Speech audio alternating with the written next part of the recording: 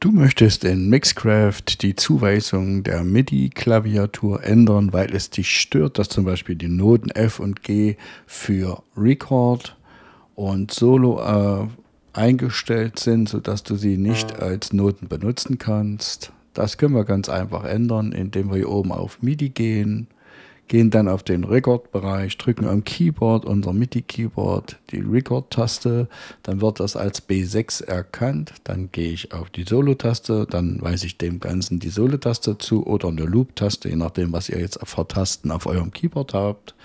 Dann schließe ich das hier oben wieder, das kann ich hier oben in den Bereichen auch ändern mit Forward und so weiter.